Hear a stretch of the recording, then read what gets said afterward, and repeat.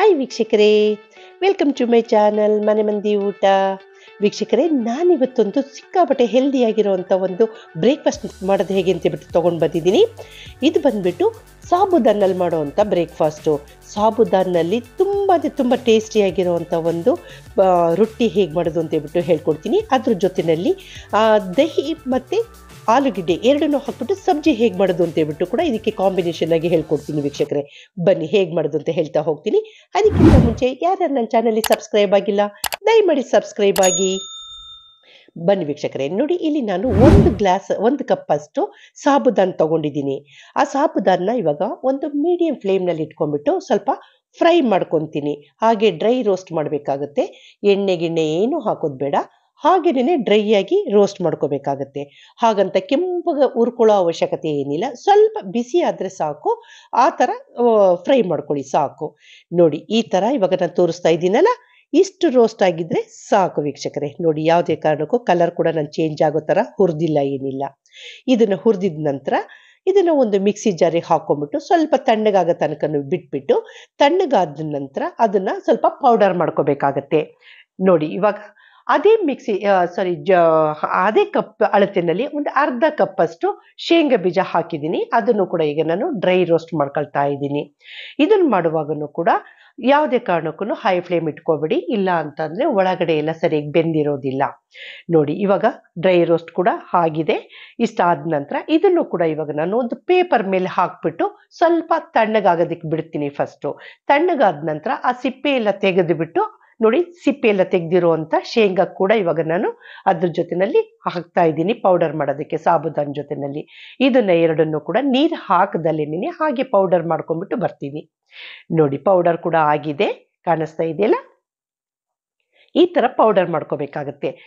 Powder ಮಾಡ್ಕೊಂಡಿರೋದನ್ನ ಈಗ ನಾನು ಒಂದು ಬೇಸನ್ಗೆ ತಗೊಳ್ತಾ ಇದ್ದೀನಿ ಶಿಫ್ಟ್ ಮಾಡ್ಕೊಳ್ತಾ ಇದ್ದೀನಿ. ಆ ಶೇಂಗಾ ಬೀಜ ಮತ್ತೆ ಸಾಬುದಾನ್ ಎರಡನ್ನೂ ಕೂಡ. ನೋಡಿ. ಇದಾದ ನಂತರ ಇಲ್ಲಿ ನಾನು ಒಂದು ಮೀಡಿಯಂ ಗಾತ್ರದ ಆಲೂಗೆಡ್ಡೆನ ಸ, ಈ ಥರ ತುರಿದು ಬಿಟ್ಟು ಇಟ್ಕೊಂಡಿದ್ದೆ. ಗ್ರೇಟೆಡ್ ಪೊ ಪೊಟ್ಯಾಟೊ ಸೊ ಈ ತುರಿದಿರೋ ಕೂಡ ಹಾಕಿದ್ದೀನಿ ಇವಾಗ ಆಲೂಗೆಡ್ಡೆನ. ಅದ್ರ ಜೊತೆನಲ್ಲಿ ನೋಡಿ, ಒಂದೇ ಒಂದು ಇಂಚಷ್ಟು ಶುಂಠಿ ಇದನ್ನು ಕೂಡ ಸ್ವಲ್ಪ ತುರಿದು ಬಿಟ್ಟು ಹಾಕ್ತಾ ಇದ್ದೀನಿ. ನೋಡಿ, ಈ ಥರ ತುರಿಬೇಕಾಗತ್ತೆ. ತುರಿದು ಬಿಟ್ಟು ಹಾಕೋದ್ರಿಂದ ಏನಾಗುತ್ತೆ? ತಿನ್ನುವಾಗ ಒಳ್ಳೆ ಘಮ ಕೊಡುತ್ತೆ, ಮತ್ತೆ ಬಾಯಿಗೆ ಸಿಗೋದಿಲ್ಲ ಏನಿಲ್ಲ. ಹಾಗಾಗಿ ತುರಿದು ಬಿಟ್ಟು ಹಾಕಿ ಹೆಚ್ಚಾಕೋದ್ರ ಬದಲಿಗೆ. ನೋಡಿ, ಈ ಥರ ಅದು ತುರಿದಿರೋದನ್ನು ಕೂಡ ಇವಾಗ ನಾನು ಹಾಕ್ಕೊಂಡಿದ್ದೀನಿ ಹಾಕ್ಕೊಂಡಾದ ನಂತರ ಅದಕ್ಕೆ ಒಂದು ಕಾಲು ಟೇಬಲ್ ಸ್ಪೂನ್ ಅಷ್ಟು ಜೀರಿಗೆ ಕೂಡ ಆ್ಯಡ್ ಮಾಡ್ಕೊಂಡಿದ್ದೀನಿ. ಇಷ್ಟನ್ನು ಹಾಕಿದ ನಂತರ ಕ್ಲೀನಾಗಿ ಒಂದ್ಸರಿ ಮಿಕ್ಸ್ ಮಾಡ್ಕೋಬೇಕಾಗತ್ತೆ. ಅದ್ರ ಜೊತೆಯಲ್ಲಿ ಒಂದೇ ಒಂದು ಹಸಿಮೆಣಸಿನಕಾಯಿನ ರೌಂಡಿಗೆ ರೌಂಡ್ಗೆ ಕಟ್ ಮಾಡಿಬಿಟ್ಟು ಹಾಕ್ಕೊಂಡಿದ್ದೀನಿ ಸ್ವಲ್ಪ ಕೊತ್ತಂಬರಿ ಸೊಪ್ಪನ್ನು ಕೂಡ ಇವಾಗ ಹಾಕಿದ್ದೀನಿ ಸಣ್ಣ ಕಟ್ ಮಾಡಿರೋ ಅಂಥದ್ದು ಅದಾದಮೇಲೆ ಒಂದು ಕಾಲು ಟೇಬಲ್ ಸ್ಪೂನ್ ಅಷ್ಟು ಬಿಳಿ ಎಳ್ಳು ಹಾಕ್ಕೊಂಡಿದ್ದೀನಿ ನಿಮ್ಮ ಮನೆಯಲ್ಲಿ ಬಿಳಿ ಎಳ್ಳಿಲ್ಲ ಅಂದರೆ ಪರವಾಗಿಲ್ಲ, ಕಪ್ಪು ಎಳ್ಳಿದ್ರೆ ಅದನ್ನೇ ಹಾಕ್ಕೊಳ್ಳಿ ಅದಾದ ನಂತರ ಈಗ ನೋಡಿ ಕ್ಲೀನಾಗಿ ಇವಾಗ ಒಂದ್ಸರಿ ಮಿಕ್ಸ್ ಮಾಡ್ಕೊಳ್ತಾ ಇದ್ದೀನಿ ನೋಡಿ ಕಾಣಿಸ್ತಿದ್ದೆಲ್ಲ ಈ ಥರ ಮಿಕ್ಸ್ ಮಾಡ್ಕೋಬೇಕಾಗತ್ತೆ. ಅದಾದ ನಂತರ ನೀರನ್ನು ಸ್ವಲ್ಪ ಸ್ವಲ್ಪ ಹಾಕೊಂಡ್ಬಿಟ್ಟು ಕಲಿಸ್ಕೋಬೇಕಾಗತ್ತೆ. ಇಲ್ಲಿ ನಾನು ರುಚಿಗೆ ತಕ್ಕಷ್ಟು ಉಪ್ಪು ಕೂಡ ಆ್ಯಡ್ ಮಾಡ್ಕೊಂಡಿದ್ದೀನಿ. ಹಾಕಿದ ನಂತರ ಇವಾಗ ಸ್ವಲ್ಪ ಸ್ವಲ್ಪನೇ ನೀರನ್ನು ಹಾಕೊಂಡ್ಬಿಟ್ಟು ಕಲಿಸ್ತಾ ಹೋಗಬೇಕಾಗತ್ತೆ. ಏಕೆಂದರೆ ಫಸ್ಟಿನೇ ನೀರು ಹಾಕೊಳ್ಳೋಕೆ ಹೋಗಬೇಡಿ. ಯಾಕೆಂತಂದ್ರೆ ಅದರೊಳಗೆ ಆಲೂಗಡ್ಡೆ ಹಾಕಿದ್ದೀನಲ್ವ? ಆಲೂಗಡ್ಡೆ ತುರಿದಿರೋದ್ರೊಳಗೆ ನೀರು ಬಿಟ್ಕೊಳ್ಳೋ ಅಂಶ ಇರುತ್ತೆ. ಹಾಗಾಗಿ ಸೊ ನೋಡ್ಕೊಂಡ್ಬಿಟ್ಟು ಕ್ಲೀನಾಗಿ ಕಲಸಿದ ನಂತರ ಸ್ವಲ್ಪ ಸ್ವಲ್ಪನೇ ನೀರನ್ನು ಮಿಕ್ಸ್ ಮಾಡ್ಕೊಂಡ್ಬಿಟ್ಟು ಕಲಸ್ಕೋಬೇಕಾಗತ್ತೆ ವೀಕ್ಷಕರೇ. ನೋಡಿ, ಇವಾಗ ನಾನು ಹದ ತೋರಿಸ್ತಾ ಇದ್ದೀನಿ. ಕನ್ಸಿಸ್ಟೆನ್ಸಿ ಎಷ್ಟು ಗಟ್ಟಿ ಇರಬೇಕು ಅಂತ ಹೇಳ್ಬಿಟ್ಟು ಇಷ್ಟು ಗಟ್ಟಿ ಕಲಿಸ್ಕೋಬೇಕಾಗುತ್ತೆ. ಈಗ ನಾವು ಚಪಾತಿ ಪೂರಿಗೆಲ್ಲ ಕಲಿಸ್ತೀವಲ್ಲ, ಆ ಕನ್ಸಿಸ್ಟೆನ್ಸಿನಲ್ಲಿ ಇರಬೇಕಾಗತ್ತೆ. ಈ ರೊಟ್ಟಿ ಎಲ್ಲ ನಾವು ತಾಳಿಪಟ್ಟು ಅಂತ ಮಾಡ್ತೀವಲ್ಲ, ಮಸಾಲೆ ರೊಟ್ಟಿ, ಆ ಕನ್ಸಿಸ್ಟೆನ್ಸಿನಲ್ಲಿ ಇರಬೇಕಾಗತ್ತೆ. ಇಲ್ಲಿ ನೋಡಿ, ನಾನು ಒಂದು ಪುಟ್ಟದೊಂದು ಫ್ರೈಯಿಂಗ್ ಪ್ಯಾನ್ ತೊಗೊಂಡಿದ್ದೀನಿ. ಅದಕ್ಕೆ ಎಣ್ಣೆ ಒಂದು ಎರಡು ಸ್ಪೂನ್ ಹಾಕ್ಬಿಟ್ಟು, ಅದಕ್ಕೆ ಒಂದು ಕಾಲು ಟೇಬಲ್ ಸ್ಪೂನ್ ಅಷ್ಟು ಜೀರಿಗೆ ಹಾಕಿದ್ದೀನಿ ಈಗ ಜೀರಿಗೆ ಎಲ್ಲ ಫ್ರೈ ಆಗಿದೆ. ಅದಾದ ನಂತರ ಒಂದು ಕಾಲು ಟೇಬಲ್ ಸ್ಪೂನ್ ಅಷ್ಟು ಕಡಲೆಬೇಳೆ ಕೂಡ ಆ್ಯಡ್ ಮಾಡಿದ್ದೀನಿ. ಕಡಲೆಬೇಳೆ ಕೂಡ ಸ್ವಲ್ಪ ಫ್ರೈ ಆಗಲಿ. ಗೋಲ್ಡನ್ ಬ್ರೌನ್ ಬಂದಾದ ನಂತರ ಇಲ್ಲಿ ನಾನು ಆಲೂಗೆಡ್ಡೆನ ನೋಡಿ ಇಷ್ಟಿಷ್ಟು ದಪ್ಪದಾಗಿ ಕಟ್ ಮಾಡಿ ಇಟ್ಕೊಂಡಿದ್ದೆ. ಸಿಪ್ಪೆ ತೆಗೆದುಬಿಟ್ಟು ಕಟ್ ಮಾಡಿ ಇಟ್ಕೊಂಡಿದ್ದೆ. ಆ ಒಂದು ಆಲೂಗೆಡ್ಡೆನೂ ಕೂಡ ಇವಾಗ ನಾನು ಹಾಕ್ತಾ ಇದ್ದೀನಿ. ಇದು ಮಾಡ್ತಾ ಇರೋದು ಕಾಂಬಿನೇಷನ್ ಆಗಿ ಆ ಸಾಬುದಾನ್ ರೊಟ್ಟಿಗೋಸ್ಕರವಾಗಿ. ಈ ಥರ ಮಾಡ್ಕೊಂಡ್ಬಿಟ್ಟು ತಿಂದ್ರಂತೂ ಸೂಪರ್ ಅಂದರೆ ಸೂಪರ್ ಕಾಂಬಿನೇಷನ್ ಆಗುತ್ತೆ ವೀಕ್ಷಕರೇ. ನೋಡಿ, ಇವಾಗ ಈ ಆಲೂಗೆಡ್ಡೆನ ಇವಾಗ ಹಾಕಿದ ನಂತರ ಸ್ವಲ್ಪ ಹಾಗೇನೇ ಫ್ರೈ ಮಾಡ್ಕೋಬೇಕಾಗತ್ತೆ. ಇದು ಮಾಡುವಾಗ ಆದಷ್ಟು ಕೂಡ ಫ್ಲೇಮ್ನ ಕಡಿಮೆನಲ್ಲೇ ಇಟ್ಕೊಂಡ್ಬಿಟ್ಟು ಫ್ಲೈ, ಫ್ರೈ ಮಾಡಿ ಒಂದು ಮೀಡಿಯಂ ಫ್ಲೇಮ್ನಲ್ಲಿ ಇಟ್ಕೊಂಡ್ರೆ ಸಾಕಾಗುತ್ತೆ. ಅದಾದ ನಂತರ ಒಂದು ಕಾಲು ಟೇಬಲ್ ಸ್ಪೂನಷ್ಟು ಖಾರದ ಪುಡಿ ಹಾಕಿದ್ದೀನಿ. ಖಾರ ನೋಡ್ಕೊಂಬಿಟ್ಟು ನಿಮಗೆ ಎಷ್ಟು ಖಾರ ಬೇಕೋ ಅಷ್ಟನ್ನು ನೀವು ಮಿಕ್ಸ್ ಮಾಡ್ಕೋಬಹುದು ನೋಡಿ, ಇವಾಗ ಒಂದು ಕಾಲು ಟೇಬಲ್ ಸ್ಪೂನಷ್ಟು ಉಪ್ಪು ಕೂಡ ಆ್ಯಡ್ ಮಾಡಿದ್ದೀನಿ. ರುಚಿಗೆ ನಿಮ್ಗೆ ಎಷ್ಟು ಬೇಕೋ ಅಷ್ಟು ನೋಡಿಬಿಟ್ಟು ಆ್ಯಡ್ ಮಾಡ್ಕೊಳ್ಳಿ. ನೋಡಿ, ಇವಾಗ ಒಂದ್ಸರಿ ಕ್ಲೀನಾಗಿ ಮಿಕ್ಸ್ ಮಾಡಿದ್ದೀನಿ. ಅದಾದ ನಂತರ ಒಂದು ಕಾಲು ಟೇಬಲ್ ಸ್ಪೂನಷ್ಟು ಅರಿಶಿನ ಪುಡಿ ಬೇಕಂತಂದರೆ ಹಾಕ್ಕೊಳ್ಳಿ ಇಲ್ಲ ಅಂತಂದರೆ ಪರವಾಗಿಲ್ಲ ಸ್ಕಿಪ್ ಮಾಡ್ಬೋದು, ಏನು ತೊಂದರೆ ಇಲ್ಲ. ನೋಡಿ ಇವಾಗಲೇ ಆ ಒಂದು ಎಣ್ಣೆನಲ್ಲಿನೇ ಫ್ರೈ ಆಗ್ತಾ ಇದೆ, ಆಲೂಗೆಡ್ಡೆ ಎಲ್ಲ. ಕಾಣಿಸ್ತಾ ಇದೆಯಲ್ಲ? ಈ ಥರ ಫ್ರೈ ಆದ ನಂತರ ಅವಾಗವಾಗ ಅವಾಗ ಸ್ವಲ್ಪ ಮಿಕ್ಸ್ ಮಾಡ್ತಾ ಇರಿ. ನೋಡಿ, ಇವಾಗ ಆಲ್ಮೋಸ್ಟ್ ಇವಾಗ ಬೆಂದಾಗಿದೆ, ಕಾಣಿಸ್ತಾ ಇದೆಯಲ್ಲ? ಆಲೂಗೆಡ್ಡೆ ಬೆಂದಾಗಿದೆ. ಈ ಬೆಂದಿರೋ ಆಲೂಗೆಡ್ಡೆನ ಇವಾಗ ನಾನು ಒಂದು ಬೌಲಿಗೆ ಹಾಕೊಳ್ತಾ ಇದ್ದೀನಿ. ನೋಡಿ, ಈಗ ಒಂದು ಬೌಲಿಗೆ ಹಾಕ್ತಾ ಇದ್ದೀನಿ. ಹಾಕಿದ ನಂತರ ಇದಕ್ಕೆ ನಾನು ಗಟ್ಟಿದು ಮೊಸರನ್ನ ಹಾಕ್ತೀನಿ. ಮೊಸರನ್ನ ಆದಷ್ಟು ಕೂಡ ಹುಳಿ ಇಲ್ದಲೇ ಇರೋವಂಥ ಮೊಸರು ತಗೋಬೇಕಾಗತ್ತೆ. ಹುಳಿ ಇದ್ದರೆ ಅಷ್ಟು ರುಚಿ ಅನಿಸೋದಿಲ್ಲ. ಹಾಗಾಗಿ ಹುಳಿ ಇಲ್ದಲೇ ಇರೋವಂಥ ಮೊಸರನ್ನ ಹಾಕ್ಕೊಳ್ಳಿ ಸೊ ಒಂದು ಬಟ್ಲಷ್ಟು ಆ ಒಂದು ಫ್ರೈ ಮಾಡ್ಕೊಂಡು ಇಟ್ಕೊಂಡಿದ್ನಲ್ಲ ಆಲೂಗೆಡ್ಡೆ ಅದಕ್ಕೆ ಹಾಕ್ಕೊಂಡಿದ್ದೀನಿ. ಅದಾದ ನಂತರ ಒಂದ್ಸರಿ ಕ್ಲೀನಾಗಿ ಮಿಕ್ಸ್ ಮಾಡ್ಕೊಳ್ಳೋಣ. ಮಾಡ್ಕೊಂಡಾದ ನಂತರ ಸ್ವಲ್ಪ ಕೊತ್ತಂಬರಿ ಸೊಪ್ಪು ಕೂಡ ಇವಾಗ ಅದಕ್ಕೆ ಆ್ಯಡ್ ಮಾಡಿದ್ದೀನಿ. ಸೊ ಕೊತ್ತಂಬರಿ ಸೊಪ್ಪು ಆ್ಯಡ್ ಮಾಡಿದಾದ ನಂತರ ಅದಕ್ಕೆ ಸ್ವಲ್ಪ ರುಚಿಗೆ ತಕ್ಕಷ್ಟು ಉಪ್ಪು ಕೂಡ ಇವಾಗ ಹಾಕ್ತೀನಿ.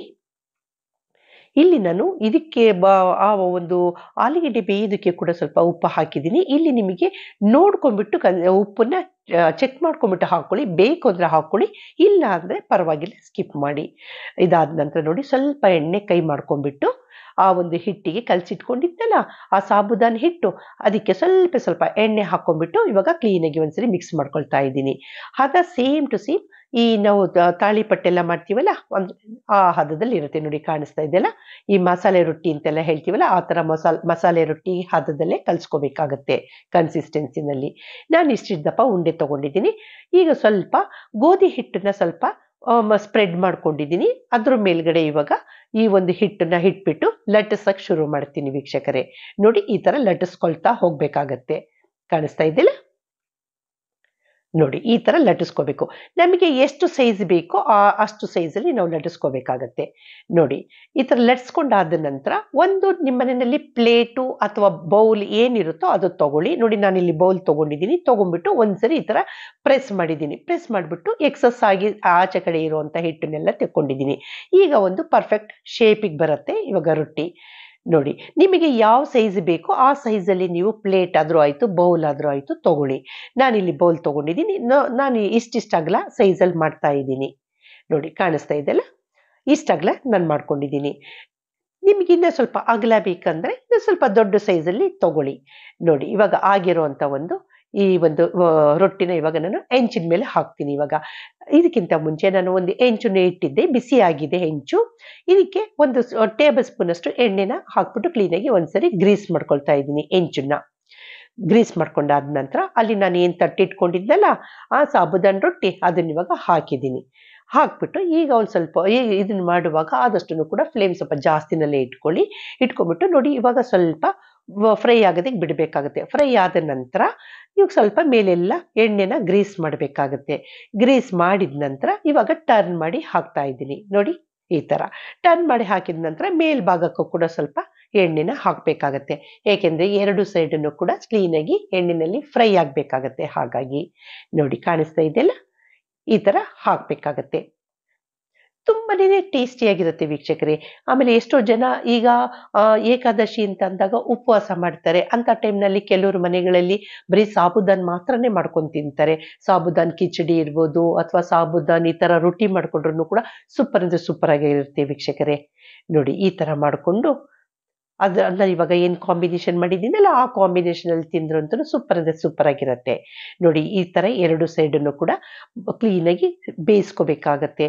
ಮಧ್ಯದಲ್ಲಿ ಉರಿ ಜಾಸ್ತಿ ಇರೋದ್ರಿಂದ ಆದಷ್ಟನ್ನು ಕೂಡ ಸೆಂಟರ್ಗೆ ಕ್ಲೀನ್ ಕ್ಲೀನಾಗಿ ಬೇಯಿಸ್ಕೊಳ್ಳೋದ್ರಿಂದ ಬೇಗ ಬೇಗ ಬೆಂದ್ಬಿಡತ್ತೆ. ನೋಡಿ, ಕಾಣಿಸ್ತಾ ಇದೆಯಲ್ಲ? ರೊಟ್ಟಿ ಇವಾಗ ರೆಡಿ ಆಗೋಯ್ತು. ಸಾಬುದಾನ್ ರೊಟ್ಟಿ ಸೂಪರ್ ಇದೆ ಸೂಪರ್ ಆಗುತ್ತೆ ವೀಕ್ಷಕರೇ. ಟೇಸ್ಟ್ ಅಂತೂ ನೀವು ಕೂಡ ಒಂದ್ಸರಿ ಮನೇಲಿ ಖಂಡಿತ ಟ್ರೈ ಮಾಡಿ. ನೋಡಿ, ಇವಾಗ ಎರಡನೇ ರೊಟ್ಟಿ ಕೂಡ ಇದೇ ಥರನೇ ಮಾಡಿ ಹಾಕ್ತಾ ಇದ್ದೀನಿ ವೀಕ್ಷಕರೇ. ಈಗ ಎರಡನೇ ರೊಟ್ಟಿ ಕೂಡ ಇದೇ ಥರನೇ ತಟ್ಟಿಟ್ಕೊಂಡಿದ್ದೆ. ಸೊ ಅದನ್ನು ಕೂಡ ಇವಾಗ ಹಾಕಿದ್ದೀನಿ. ಹಾಕಿದ ನಂತರ ಈ ರೊಟ್ಟಿನೂ ಕೂಡ ಕ್ಲೀನಾಗಿ ಒಂದ್ಸರಿ ಎಣ್ಣೆ ಸ್ವಲ್ಪ ಹೊತ್ತು ಬಿಡಬೇಕಾಗತ್ತೆ ಫಸ್ಟು ಇನ್ನೇನು ಮಗ್ಚಿ ನಾವು ಟರ್ನ್ ಮಾಡಿಬಿಟ್ಟು ಹಾಕ್ತೀವಿ ಅನ್ನೋ ಟೈಮ್ನಲ್ಲಿ ಸ್ವಲ್ಪ ಎಣ್ಣೆನ ಮೇಲೆಲ್ಲ ಗ್ರೀಸ್ ಮಾಡಬೇಕಾಗತ್ತೆ. ಈ ಥರ ಎಣ್ಣೆ ಗ್ರೀಸ್ ಮಾಡಿದ ನಂತರ ಆಮೇಲೆ ಟರ್ನ್ ಮಾಡಿಬಿಟ್ಟು ಹಾಕಬೇಕಾಗತ್ತೆ ವೀಕ್ಷಕರೇ. ನೋಡಿ, ಈಗ ಒಂದು ಸೈಡ್ ಎಲ್ಲ ಕ್ಲೀನಾಗಿ ಬೆಂದಿದೆ. ಈಗ ಎರಡನೇ ಸೈಡ್ ಟರ್ನ್ ಮಾಡಿ ಹಾಕಿದ್ದೀನಿ. ಆವಾಗ ಟರ್ನ್ ಮಾಡಿದ ಮೇಲೆ ಮೇಲ್ಭಾಗನೂ ಕೂಡ ಸ್ವಲ್ಪ ಎಣ್ಣೆ ಹಾಕಿಬಿಟ್ಟು ಬೇಯಿಸ್ಕೋಬೇಕಾಗತ್ತೆ. ನೋಡಿ, ಇದೇ ಥರನೇ ಪ್ರತಿಯೊಂದು ರೊಟ್ಟಿನೂ ಕೂಡ ಮಾಡ್ಕೋಬೇಕಾಗತ್ತೆ ವೀಕ್ಷಕರೇ. ತುಂಬಾ ಟೇಸ್ಟಿಯಾಗಿರುತ್ತೆ ವೀಕ್ಷಕರೇ. ಅದರಲ್ಲೂ ಬಿಸಿ ಬಿಸಿಯಾಗಿ ಇದ್ರ ಜೊತೆನಲ್ಲಿ ತುಪ್ಪ ಹಾಕ್ಕೊಂಡು ಬೆಣ್ಣೆ ಹಾಕ್ಕೊಂಡು ಅಥವಾ ಹಾಗೆಯೇ ನೀವು ಈ ಥರನೂ ಕೂಡ ಚಟ್ನಿ ಪುಡಿಗಳ ಜೊತೆಯಲ್ಲಿ ಮತ್ತು ಈಗ ನಾನು ಮಾಡಿದ್ದೀನಿ ನೋಡಿ ಈ ಒಂದು ಗ್ರೇವಿ ಜೊತೆನಲ್ಲಿ ತಿಂದ್ರೂ ಸೂಪರ್ ಅಂದರೆ ಸೂಪರ್ ಆಗಿರುತ್ತೆ ವೀಕ್ಷಕರೇ.